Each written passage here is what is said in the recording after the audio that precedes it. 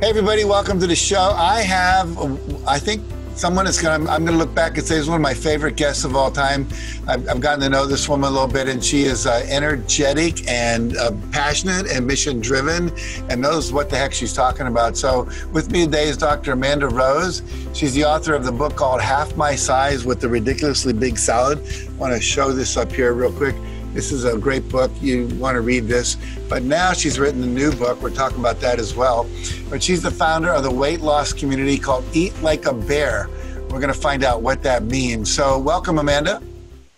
Thanks so much, Jack. Thanks for having me on today. I really appreciate this and the opportunity to talk about my community.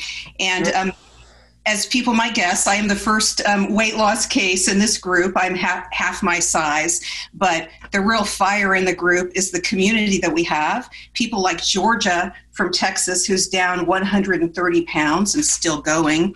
We have Maria, who's a half my size case. We have Shelly, also half her size, and here she is practicing for a 5K she likes to do. So she started walking in 5Ks for the first time in her life. Like um, I say, she says, I walk because I can, not because I should. And here is Sarah, half her size, paddleboarding on Lake Tahoe. I love this photo of Sean. Sean is here with her granddaughter in this toy car that Sean would have had a real hard time fitting in 100 pounds ago. And just last week in Missouri, these ladies met up and together they are down 879 pounds. Six of them are century cases. And then my favorite coffee club in Rhode Island, these ladies, including Sue, who is down 50 pounds, are reading the book Half My Size with a Ridiculously Big Salad. And the, the thing about our community is it, it's it's mainly women over 50, but we have a lot of others too, but that's kind of our, our hallmark. And we're the people for whom weight loss programs have never really worked. And the core reason is we're not moderate people. And so the messages of moderation of like, you know, count your calories or just eat one cup of chips. I mean, who eats a cup of chips? We don't. And so what we do is we we um, have sort of acknowledged our excesses and we put them in a boundary. And I just want to show you quickly what we do with that. We are intermittent fasters. We do time restricted eating, and so we just eat in a certain segment of the day. And in my case, I eat in one hour, and I eat big. Can I show you what I eat in? Sure. so, this bowl is what I eat my ridiculously big salad in. It's truly ridiculous. I fill it with greens, with a homemade dressing, with a protein, and I have all my calories and my nutrition in the one meal.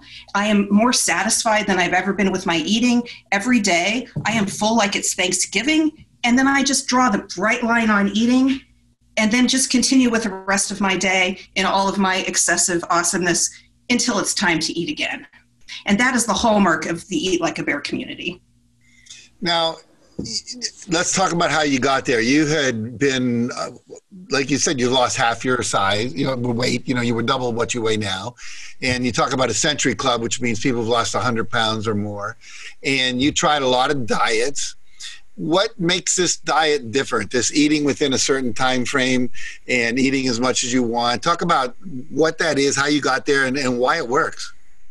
Yeah, so the big thing is it just hits square at the center of insulin resistance. And so, what I mean, and there, there's lots of people talking about this now, and it's something that I wasn't even paying attention to. I just kind of lucked out in um, crafting this formula and maybe striking right at the center of something that was affecting me biologically all those years.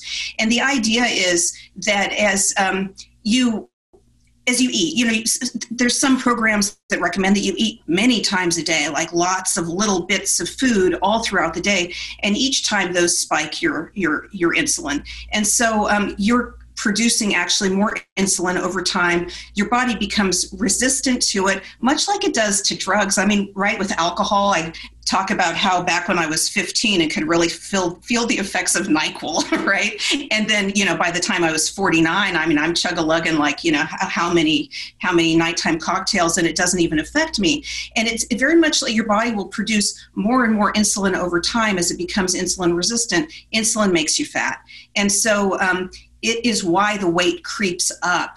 And if you can really hit it dead on um, and and bring that insulin resistance down you're going to see weight loss. And so people see achieve weight loss not just eating something like the ridiculously big salad in one hour, but maybe even eating almost anything at all in one hour, because that in itself really hits that insulin resistance problem. Um, we we are extra effective because we are hitting that problem, and we're also like super low carb and calorie mindful. So we're hitting a lot of things at once with this kind of meal approach. I'm sure everyone that's watching this goes, "Don't you get hungry?" That was my big concern as I started this and the like the voices in my head about, you know, can you really do this thing? Hunger was such a big problem for me in other diets. And I knew that was the single biggest thing that was going to cause problems for me. And when I considered doing the one meal a day, that is the key thing that really scared me and i but i wanted to try it and i thought well my goodness if i'm going to do it I'm going to go big to try to um, counteract that hunger. And that's what gave me the idea for the lettuce and like packing my stomach full of something so high in fiber and like so bulky that maybe my hunger wouldn't be so bad. And indeed, it helps with that. But the bigger thing is that I did not appreciate is that our hunger, those feelings of hunger, I mean, we're not really like starving. I mean, especially if you got all that body fat, it's uh, it's hormonally driven, and that hormone is trained. And so we are training ourselves. If we're eating a lot throughout the day, like you know all the little meals, we are training ourselves to eat many times a day. And so when we skip that meal the next day, we end up hungry in that time period. And so this is something that can be trained. You essentially you're training yourself to eat at like 10 a.m. or 11 or whatever, mid morning, whatever it is. It doesn't have to be like right on the clock, but that's when you eat. Your body expects it. And um, increasingly over time, it just gets easier for me. I might get a little like peckish in the evening, but um, not hung- hungry like I used to get. And, you know, a little peckish at this point, I start to associate it with my success. I'm good with it. Yeah, I hear that.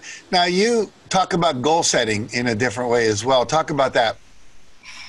Yes, absolutely. This has been interesting to me because again, I I mean, I started out on something just kind of I had no mindfulness that I would do anything that actually would you know achieve this kind of success and so as i've looked back on like how did i end up at my lowest weight as an adult and i have people in the community with the same outcome well they look at me and can say wow she did it so i can do it so they have me as the example but I didn't have an example. And so, what was I doing that led to this point?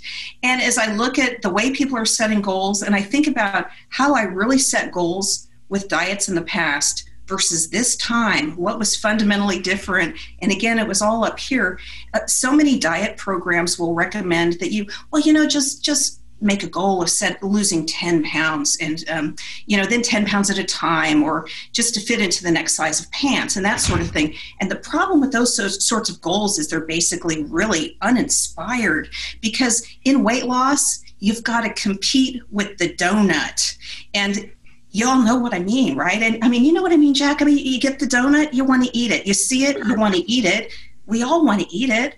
I mean, I would love to live in the universe where I could eat the mountain of donuts without consequence. And how do we compete with that drive to just reach and eat the donut? And um, the thing is, your pants won't zip. That's not that inspiring because you can get some other pants that do zip. I can tell you, I've had a lot of pants. And so you need a goal that's so big that it really can compete with that momentary pleasure from the donut. And what I realized I did this time, my goal was different.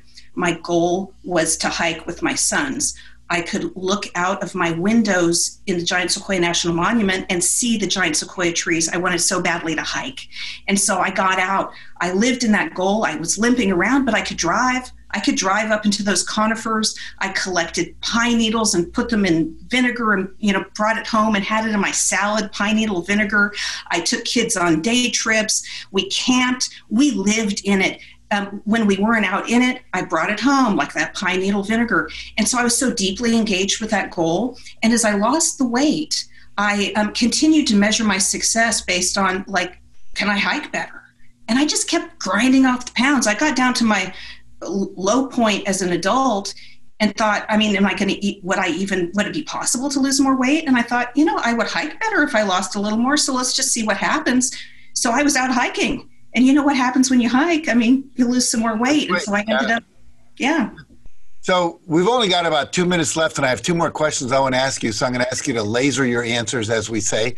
Uh, you talk about the locus of control in weight loss has to be yourself. And I'm going to ask you, like, have we missed that message as a society, and how does it apply to your your program? So, absolutely. Think about all the weight loss messages out there. So, like, oh, buy this product and lose five pounds this month. Okay. Or let's see, rub this soap on your cellulite and you're going to lose a couple pounds a month or whatever. In cases like this, well, this is just actual, just soap, but in cases like that and those kinds of marketing claims, where's the locus of control of weight loss? It's right here. And that message, it's pervasive. And as soon as we pop out of our mamas, we're getting that message. We're getting it everywhere. And so no wonder we're confused. So, what we draw a bright line in the community on any kind of um, product promotion. Why would we want to give up the potential that we have for our own personal development um, and mess around with some of this stuff? Now, you have more than a program, you have a movement. And when you talk about your community, it's in the tens of thousands of people. Um, and would, would it be possible today to do what you're doing without the internet and social media? I, I think that's a great question. I mean, we're getting a lot of people in their own communities. That's where it's starting. People are seeing other people, they're seeing their neighbors, they're seeing people in churches and such. But it's really exploding because of the internet. And so we kind of have both. We have the traditional, but then that internet is setting it on fire and, and, and really providing support for people who, who might otherwise be, you know, more isolated and limited. So it's giving some people more opportunities and it's just giving more people more success cases, more people to follow, more people who look like them who are just a month ahead of them or six months ahead of them on the path. Mm-hmm. Well, I've been to your website, and it's a, I, I, I spent a lot of time there. It was very fascinating. All of the information, the before and after pictures, the different videos that people can watch, etc. So I want to encourage people to go there, especially if someone's dealing with weight. And you don't have to be 300 pounds to to get value of this. I mean, you have people that have lost 40 pounds, 50 pounds, whatever. And um, and and so I'm really intrigued and inspired by what you're doing. So where can people find out more? What's your website? Eatlikeabear.com. Very simple. Eatlikeabear.com. Okay. Yes. Well, this has been inspiring, and I love you. I love your energy. I love your message. I love what you're doing. And again, your book, The, the Ridiculously Big Salad How I Ate Like a Bear and Lost 140 Pounds. And then your new book's coming out as well. So go to her website, and uh, this does not have to be a problem if you learn how she does it. It's, it works. It's worked for literally tens of thousands of people. Thank you again, Amanda. I really appreciate it. Thanks so much.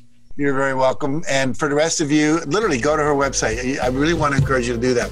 And please tune in next week. We have another wonderful guest coming up. And until then, uh, stay safe, stay healthy, and we'll see you then.